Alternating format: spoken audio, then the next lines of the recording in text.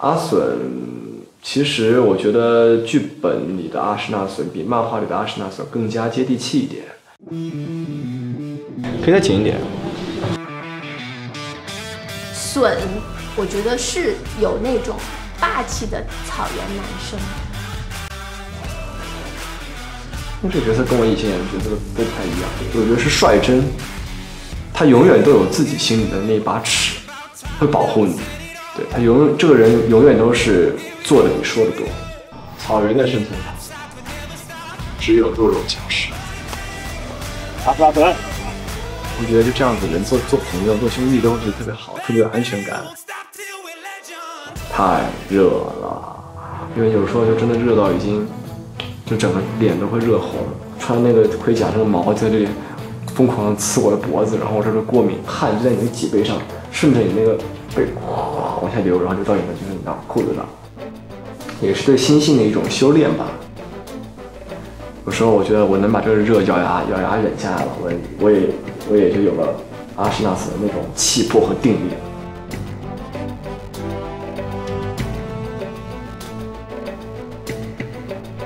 我每天都在健身，希望能够把身体就是尽量的还原成那样子一个健壮的一个状态。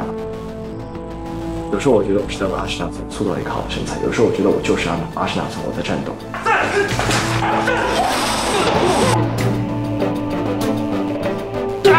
虽然热，虽然累，但也熬下来了。感谢遇见阿什纳斯这个角色，太憨了。位置是飞扬，好来吧。那我呢？加入我这里。多少你比他重吗？我比，你看。又是完了。哎，我先过去了。来了来了。你又翻腕，翻腕是技巧，翻腕。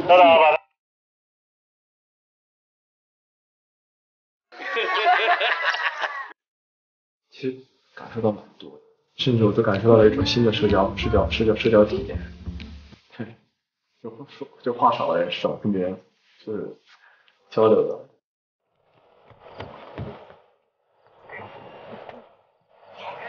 嘿。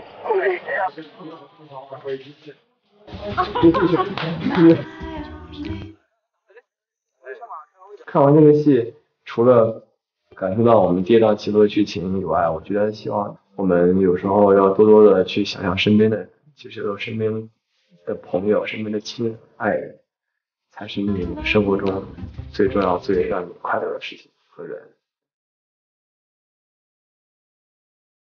谢谢大家，大家辛苦了。